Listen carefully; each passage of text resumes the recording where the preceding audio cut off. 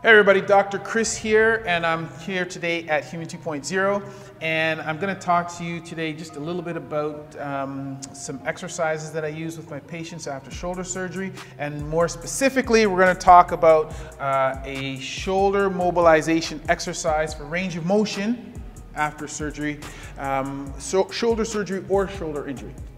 And so um, I find that uh, like after surgery um, for a shoulder problem, whether that's rotator cuff, anterior stabilization, whatever, um, generally speaking, we are going to immobilize your shoulder for a period of time. Consequently, the people are going to end up with shoulders that are stiff, and then we have to end up mobilizing those shoulders afterwards with physical therapy. And um, it takes quite a long time uh, for people to regain their range of motion. So more or less historically what people have done is they've used a number of techniques such as um, wall walks, so coming to the wall, walking your fingers up the wall um, to regain range of motion, um, or they have used other techniques such as pulleys, so you hold the pulley, you hold your, the, the rope in one hand, then a, using a pulley system, you pull your arm up to help regain the range of motion or, or otherwise still, they may um, have um, a therapist pull on their arm. So these are all sort of standard techniques. Um, and one of the, each, each of these techniques has um, both benefits and uh, or, or, has both uh, positive and negative things that are associated with it. Um, I'm, I'm going to speak to those briefly, and then I'll tell you what I do for my my own patients. So. Um, when we are talking about the wall walks, so at first, when patients are working to get their arms up the wall, so the wall walk um, is a uh, a technique that requires you to have a certain element of strength. After you've had surgery, you're going to have a shoulder that is stiff, and you're also going to have a shoulder that is weak because you have had atrophy of the muscles and the muscles are weak, and so you need to restore both of those things. But I find that if you tie the restoration of range of motion to the restoration of strength, in other words, if you work on both things at the same time, um, your range of motion, which takes long time to, um, to regain, is going to be restricted by the strength. Because, for example, when you're walking your fingers up the wall, once you get to uh, about 90 degrees of, of shoulder abduction, or if you're doing a forward, forward elevation, now you are limited by the strength of your arm strength of the muscles to get your arm up. So not only is it tight, but you're weak. And so um, the range of motion is limited by your ability to lift the arm up. So that's a, a problem with that method. If you use um, instead the pulley system, so now I'm going to put my, my operated arm, which is tight and weak, I'm going to grab a, a rope over here, and then I'm going to use my other arm through the pulley system to pull it up into the air. In this particular case, we are still limited by muscular strength, but not by muscular strength of the arm that is being pulled. We are being limited by muscular strength of the opposite arm because um, your arm actually has a weight to it and it weighs uh, roughly 8 to 9% of your body weight. That's the, the weight of your arm. And so if you do not have the muscular strength on your opposite side to lift 9% of your body weight, then you'll have a problem. And so for elderly patients, I, I often have patients who go to physiotherapists and they tell them to use a pulley system, and they get a pulley system, they do that. I find for those patients, they're limited by that. So that, that's very, uh, so that's another drawback for that technique. So whenever I'm trying to think about ways to um, develop range of motion, I am trying to um, follow a, a, couple of principles. So number one, I don't want the range, I, I, want to take the range of motion and separate that away from the, the development of strength. That's number one.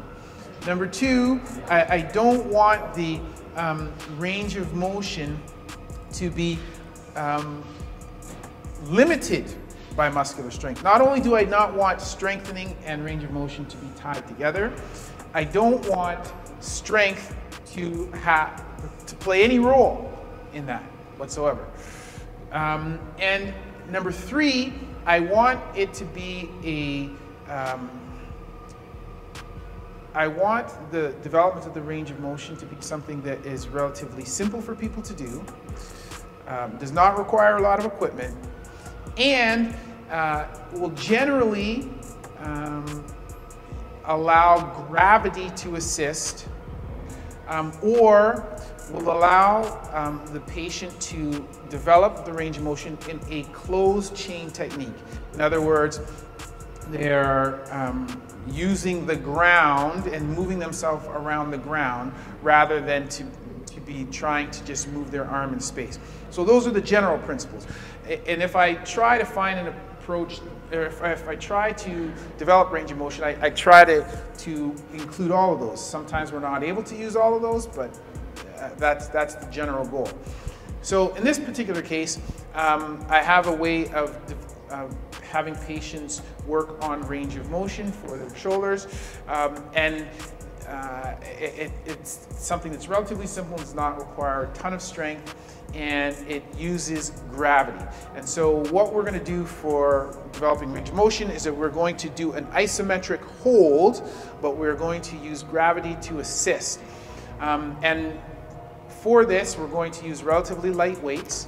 And because we're using light weights, the force that's being applied to the arm is not significant. Um, in other words, you don't have to worry about somebody ripping something out because they're, they're you know, or, or, damaging the repair because we don't have a therapist pushing with all their might. Um, and the, the weight is very, very, um, is very physiological. Um, so there is one proviso, and they must, they should be able to get their arm to 90 degrees. If they can get their arm to 90 degrees, then they can use this exercise to get the development over the head. And this is actually the range that is the most difficult for most patients. Usually they're able to get to 90 degrees, but then they start to hike their uh, shoulder to get um, the, the remaining range of motion. Um, so the minimum is they have to be able to get to 90 degrees. They should be able to do it with a depressed and retracted scapula and no, no elevation. I like this technique that I'm going to show you because it actually um, uh, allows people to develop their range of motion without the hiking and without the cheating because when you do this technique, they're, they're, hiking your shoulder doesn't offer any advantages and so people tend not to do it. Also, this technique allows their shoulder to be um, retracted and depressed because basically that's where um, it's, it's going to be most efficient to do this and it actually requires more work to cheat, to uh, elevate your shoulder or to protract your shoulder forward. So the technique that I use is this. It's really simple. So I get them to do it either on the floor or they can do it on a um, on their bed. And so here we have some weights. I have a two and a half pound weight and I have a five pound weight. But generally I tell people to do this at home with a, um, a can of, vegetables or um, you know, a container of something. Um, you, know, you know, a pound, two pounds, um, but up to five pounds, okay? And so what, what they're going to do is they're going to lay down, and you can see right away that because they're laying down, that the shoulders are retracted. The shoulders are to the back. If you protract your shoulder, that actually requires work to do this. So number one, the stage has been set appropriately because your scapula are retracted. Also, you can see that lifting my arm up overhead, it doesn't help me to do this, okay, to engage my my um, traps to elevate my scapula. It doesn't help to lift my arm. So this is a great way to get rid of that, um, uh, the uh, elevation of the traps and the elevation of the scapula um, when people are trying to lift their arm.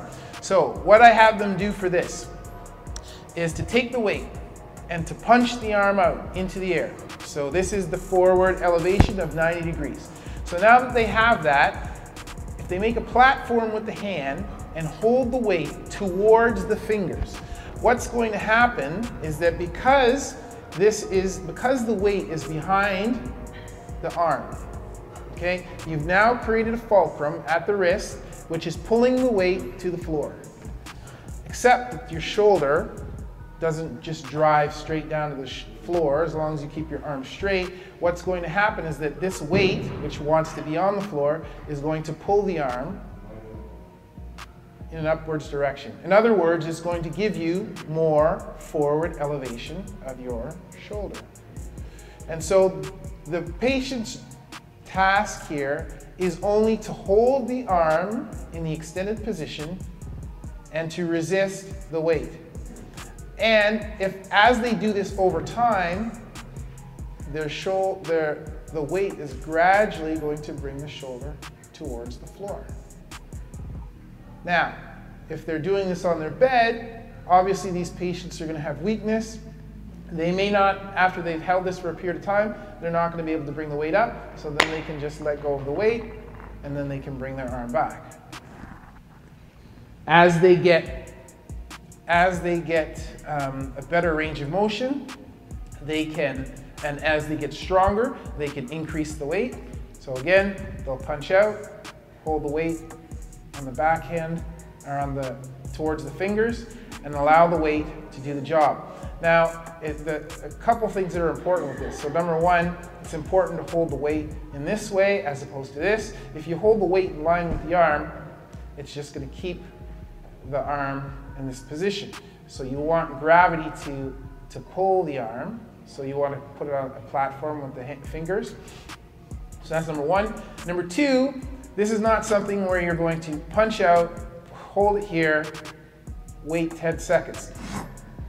This is the kind of hold where you want to hold this position for a few minutes, one, two, or three minutes, because you want all the muscles, particularly the serratus, the, the lats, these are the things that are holding your arm in the depressed position and not allowing it to extend above your head. You want all of those things to gradually stretch out. So you have to do this over time. And during this time, all you're trying to do is relax, resist the weight, allow it to move in a slow manner, and keep your arm straight. Let go of the weight, bring your arm up, and then you can repeat that process. So, as I said, the benefits of this is that the scapular is the scapula is set, it's retracted, it's depressed, they can bring the arm up. There is no hiking because that does no benefit. And once they've regained that range of motion that, down there, now they will have a, a range of motion which um, is functional range of motion and does not have any compensatory mechanisms. And then now you can work to add strength to that by adding, by now taking the person, standing them up, and then doing the same thing against resistance, but while they're standing. But this way, we've used gravity to help us.